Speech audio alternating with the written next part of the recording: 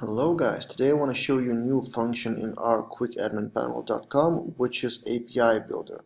So when you are creating your CRUD, uh, I'll give you a demo here, you can choose whether to create, uh, generate an API controller for this CRUD.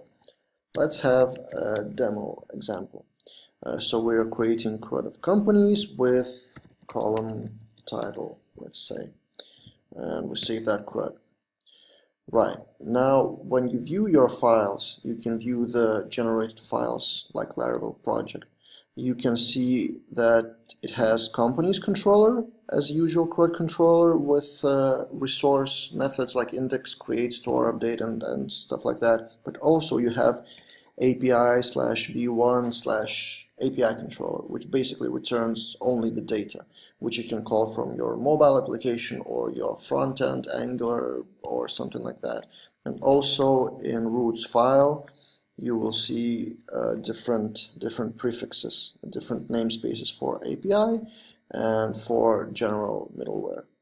So that's a short demo. We'll see how it goes when Laravel 5.3 comes out. It will slightly change because already, uh, as I've read, the routes are already separated for API and for the web.